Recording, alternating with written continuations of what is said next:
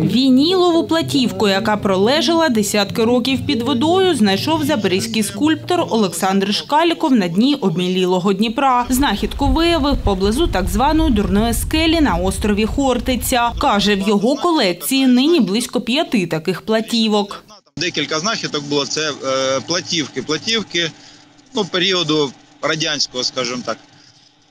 І ці платівки вони були в різному стані, були зіпсовані, поламані, зігнуті, поплавлені. А деякі платівки вони були абсолютно рівненькі, але в багнюці забруднені і слідами іржі була сильна злива, і ця сильна злива вона вимила оці м'які фракції ґрунту дна.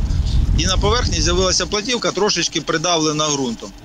Оця платівка теж була, я її поставив на програвач, і я спочатку не зрозумів. Я думав, що це е, рок-опера Юнона і Авось, тому що там і рок-музика така радянська. Виявилося, що це Олександр Градський. Олександр каже, після падіння рівня води у Дніпрі знайшов чимало артефактів, зокрема скляні предмети, частини човнів та кераміки.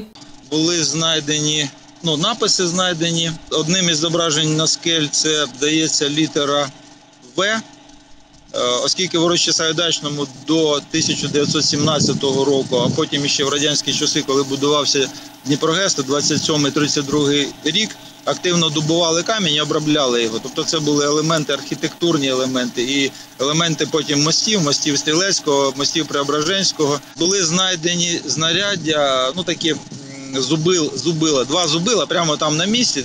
У нас є музей каменоломня, і я давно мріяв знайти інструменти, якими обробля, оброблявся цей граніт. І нарешті були знайдені такі два клина кованих.